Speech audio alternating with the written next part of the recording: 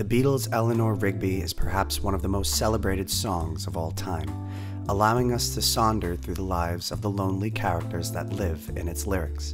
Realizing that every passerby lives a life as vivid and complex as our own and often shares our feelings for being lonesome. Originally appearing on Revolver and the double A side single, along with Yellow Submarine, Eleanor Rigby is a haunting retelling of the timeless nature of human loneliness and begs the question where do the lonely belong?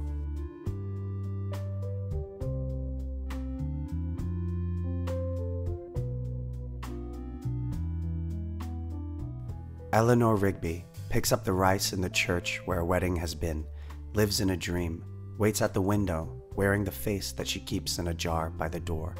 Who is it for? Lyrics like these send a shiver through my spine as they sullenly march along, unraveling the tale of Eleanor. As the story unfurls, we see that life and happiness still carries on at a wedding that has just taken place. But all that love, family, togetherness is not for her. Eleanor picking up the rice, thrown in celebration, alludes to her desire for company, but as it is said, she lives in a dream. And although she waits at the window with a presentable face, no one will come to visit Eleanor. Who's the face for?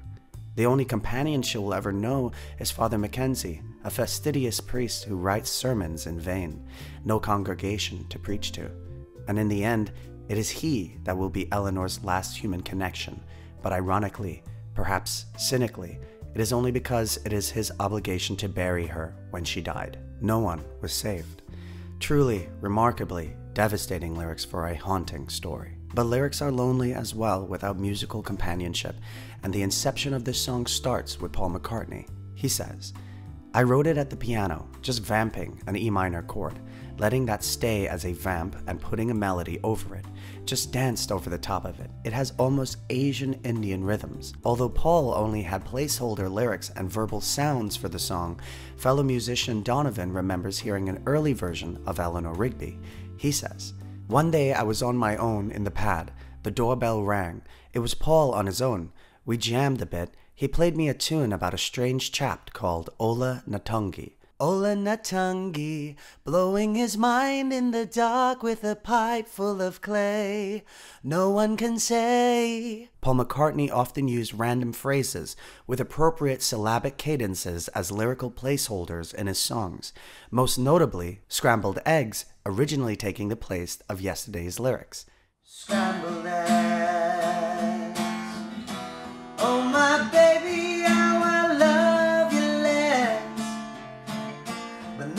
Much as I love scrambled eggs, oh, we should eat some scrambled eggs. But this one, although beginning with the strange Ola Natungi, Paul shines a light on where the lyrics we now know came from. Paul says, While I was fiddling on a chord, some words came out.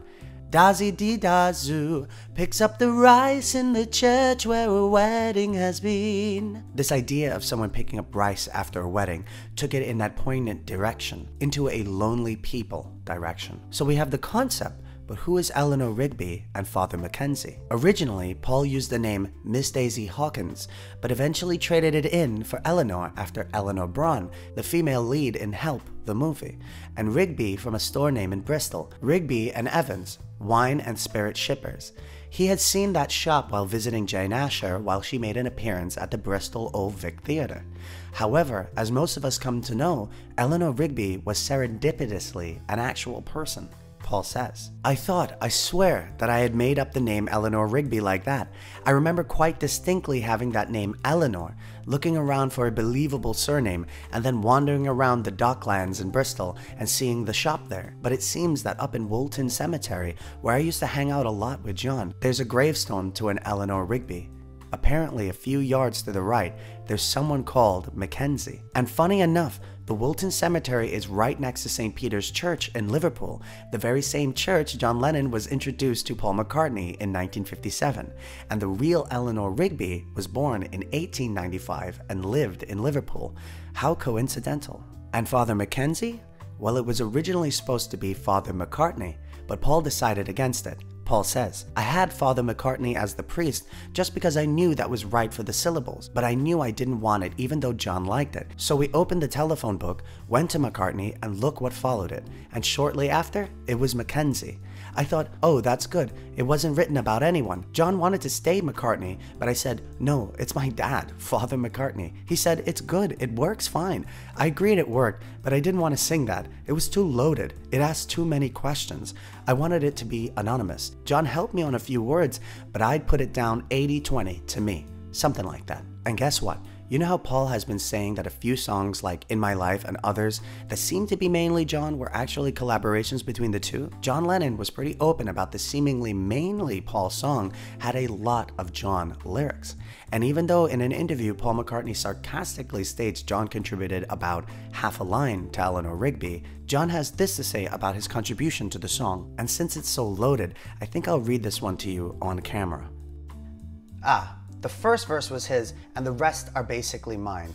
But the way he did it, well, he knew he had a song, but by that time he didn't want to ask for my help. And we were sitting around with Mal Evans and Neil Aspinall, so he said to us, Hey, you guys, finish up the lyrics. I was insulted and hurt that Paul had thrown it out in the aid.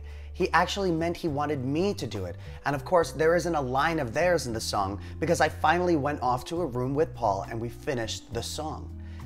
But that's how, that's the kind of insensitivity he would have, which upset me in later years. That's the kind of person he is. Here, finish these lyrics up, like to anybody who was around. Oh, he had the whole start. Eleanor Rigby picks up the rice in the church where a wedding has been, and he had the story and he knew where it was going. So we had to work out, well, is there anybody else in the story? It's hard to describe, even with the clarity of memory, the moment the apple falls. The thing will start moving along at a speed of its own, then you wake up at the end of it and have this whole thing on paper, you know? Who said what to whom as we are writing, I don't know.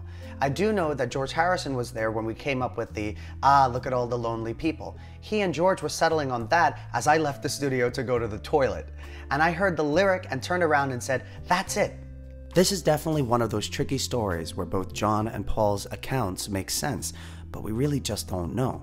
But John does give credit for one of the best parts of the song to Paul, the orchestral music. John says. The violin's backing was Paul's idea. Jane Asher had turned him on to Vivaldi, and it was very good, the violins, straight out of Vivaldi. I can't take any credit for that, at all. It wasn't just Paul who made the song an incredible orchestral piece, but also George Martin, who along with Paul wrote an arrangement inspired by the music of Bernard Herrmann for the film Fahrenheit 451. Despite the competition for who wrote what for Eleanor Rigby, to me it is one of the Beatles' most treasured compositions. It has an ethereal reverence to life and loneliness, and created characters we can truly see. I've said it so many times before, but I think my favorite thing about the Beatles songs is the stories they tell, and that is my love letter to Eleanor Rigby. If you enjoy these videos and want to support the channel, please consider becoming a patron. My videos will always be free and this is a great way to help me make them better for you.